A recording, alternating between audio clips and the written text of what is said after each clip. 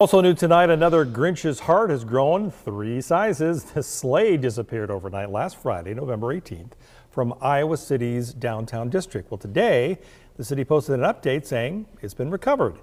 It's displayed every year in the pedestrian mall there. Good news.